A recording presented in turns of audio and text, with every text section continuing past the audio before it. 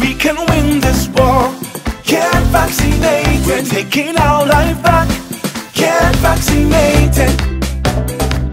People who are hesitant about taking a vaccine, my advice to you would be to first um, get information and credible information.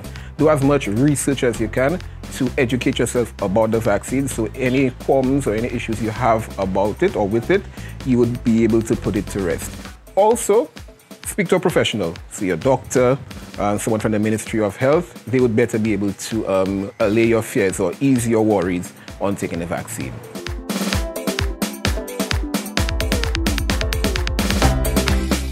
Now that I'm vaccinated fully, my two weeks expired with my second dose. I am really looking forward to things getting back the way they used to. Also, Carnival. I'm looking forward to having the line again. This message is brought to you by the Bureau of Health Education of the Ministry of Health and Wellness